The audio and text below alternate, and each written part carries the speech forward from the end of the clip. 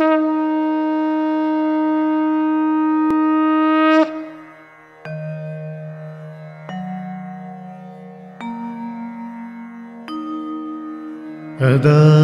यदा हि धर्मस्य ग्लानिर्भवति भारत अभ्युत्थानमधर्मस्य तदात्मानं सृजाम्यहं परित्राणाय साधूनां विनाशाय च दुष्कृतं धर्मसंस्थापनार्थाय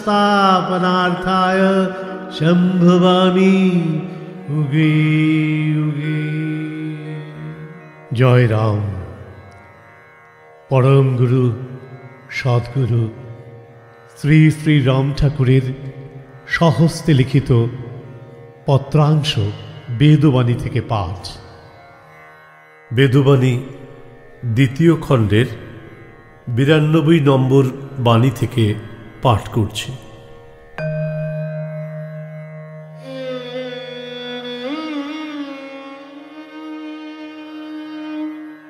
সংসার মায়ামুগ্ধ, ভ্রান্তবশত অসত্যকে, অর্থাৎ অস্থায়ী বন্ধুর স্থায়িত্ব বোধে ক্ষণিক সুখের জন্য অখণ্ড সুখকে ছাড়াইয়া কেবল ঘোরাঘুরি করিয়া মায়াচক্রে গতাগতি পুনঃ পুনঃ চালিত হইয়া থাকে।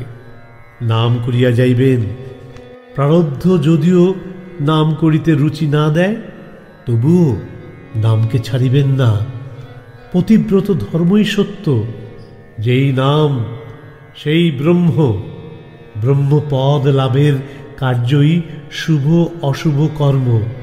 সুখের জন্য নাম করা হয় না। তপস্যাই নাম দুঃখেরই ভাজন। নাম করিতে করিতে যখন দুঃখের বাঁধন কাটিয়া যাইবে, তখন নামে রুচি, অমৃতের স্বরূপ, আনন্দ হৃদয়ে আসিবে। বিচ্ছেদ হইবে না। ফলাফল ত্যাগ করিয়া নাম করিতে হয়। নাম নিয়া পড়িয়া থাকাই ধর্ম। সংসার মায়ামুগ্ধ। কেবল ঐহিক সুখেরই পিয়াসী হয়। অনিত্য ক্ষণকাল সুখের জন্য প্রয়াসী হইয়া অনাদিত্য স্থির প্রেমানন্দ রসকে পরিত্যাগ করে। ইহা ভ্রম হইতে হইয়া থাকে। এই যে দেহ, এটি প্রারব্ধ যোগে পরের ঘর বলিয়া জানিতে হয়। এই মন বুদ্ধি রজগুণ চঞ্চলতা হইতে উৎপন্ন হইয়া থাকে, ইহা প্রাণের নয়। সর্বদাই প্রাক্তন ভোগের জন্য মুক্ত হইয়া থাকিতে হয়।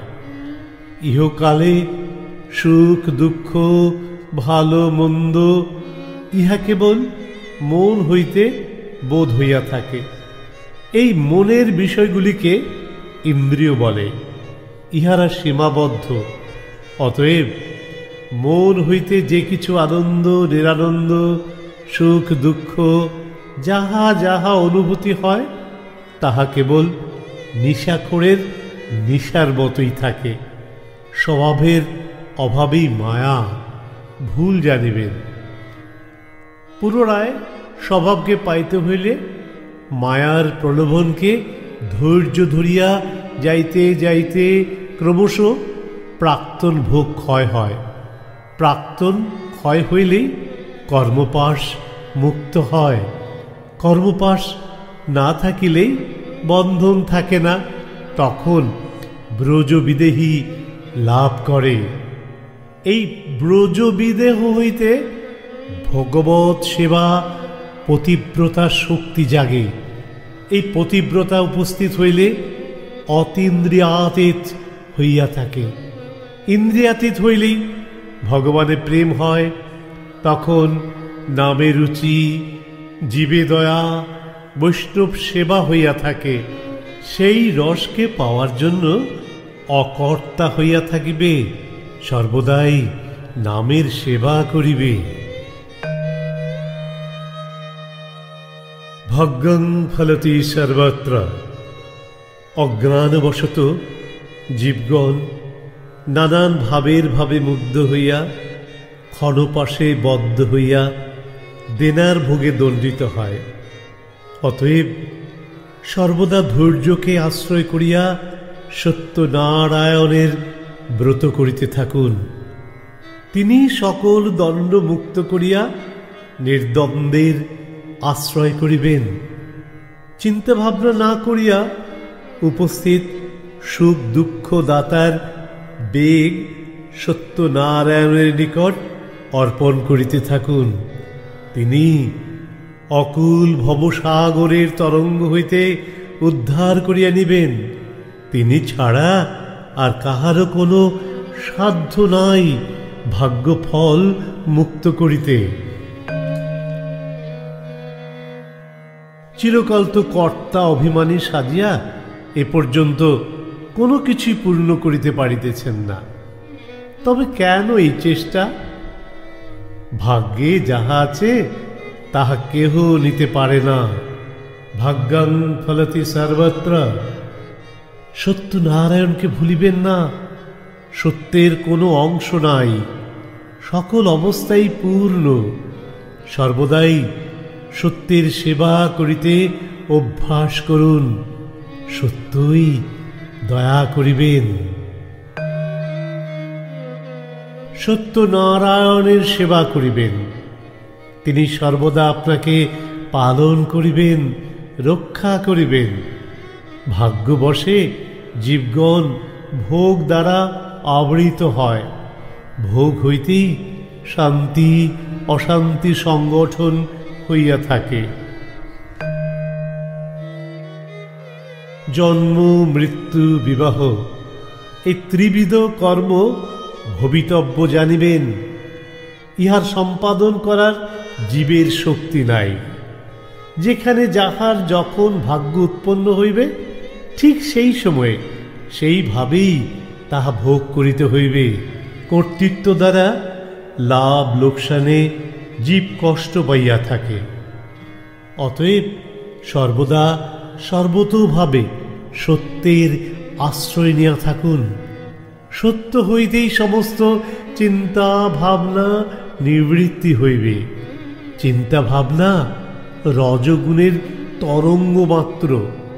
ধৈর্য নিকেতনে গুণমুক্ত হইয়া নির্গুণ পরম পদ লাভ করিয়া দেহ ঋণ শোধন হয়। দেনা পাওনা রাখিয়া এই মায়া দেহ মুক্ত করিতে পারে না। লোক সকল ভাগ্যকে না মানিয়া ভাগ্যরথে না চলিয়া নানান উপসর্গ ভোগ করিয়া থাকে। ভাগ্য হইতেই নানা উপাধির বসে আটক পড়িয়া শান্তি অশান্তির দ্বারা মান অপমান উপভোগ করিয়া থাকে। লোক যখন ঘুমায় তখন শান্তি, অশান্তি, প্রভৃতি কেহই থাকে না। অতএব সকলই অহংকারের উৎপন্ন শাসক মাত্র। কর্তৃত্ব ছাড়িয়া ভাগ ভোগদান করুন, সত্যকে পাইবেন। ত্রিলোকের লোক সকল স্ব স্ব ভাগ্যানুসারে দেহ গেহ স্বজন বন্ধু বান্ধবী সংযোজিত হইয়া থাকে। সেই ভাগ্য হইতেই ভবিতব্য দ্বারা মিলন, অমিলন ঘটিয়া থাকে। ওই সকল চিন্তা না করিয়া সকল ভার সত্যের আশ্রয়ে রাখিয়া ভাগ্যফল, দান, ত্যাগ করিয়া সত্যকে পাবার জন্য উদ্যোগী হন। ভবিতব্যই বিবাহাদি সংগঠনের কর্তা। তিনি যখন যাহার সম্মিলন করিবেন তখন তাহার ব্যবস্থা হইবে। আপনি তাহার কর্তা হইতে গিয়াই অপার চিন্তায় কষ্ট পাইতেছেন। সম্মিলনের বাধকই ভবিতব্য জানিবেন। আপনি সর্বদা সর্বতোভাবে সহিষ্ণুতার বরণ করিয়া ভাগ্যফল যে ঊর্ধ্ব অধগতি স্বরূপ অস্থায়ী, অনিত্য, অভাব, এই সকল ত্যাগ করিয়া, অর্থাৎ এদের অধীন না থাকিয়া কেবল সত্যনারায়ণের স্মরণ লইতে চেষ্টা করুন, অর্থাৎ অভ্যাস করুন। তিনিই আপনাকে সর্বদা শান্তিতে রাখিবেন। দক্ষ যজ্ঞ কখনো পূর্ণ হয় না। সত্যের অধীনও থাকিতে পারে না। চিরকাল তো কর্তৃত্ব করিয়া আসিতেছেন, কোন কার্য সম্পূর্ণ করিতে পারিয়াছেন? বিচার করিয়া দেখুন, আপনার ভাগ্যে যাহা আছে, তাহাই পাইয়াছেন। তার অতিরিক্ত কিছুই পান নাই। যদি পাইতেন, তবে কেন ছেলের বিবাহের জন্য এত ব্যস্ত হইতেছেন? যেখানে ভবিতব্য অর্থাৎ যার সঙ্গে যার নির্দেশ আছে, সেখানে তার সঙ্গে তার মিলন হইবে। ইহার ব্যতিক্রম করা কোনো দেবতার কি দানব, কি মানবের নাই জানিবেন। সত্যনারায়ণকে কর্তৃত্বটুকু দিয়া তার সহায় হইয়া থাকিতে পারিলেই সকল ঋণ শোধ করিতে পারিবেন, শান্তিও পাইবেন। জয় রাম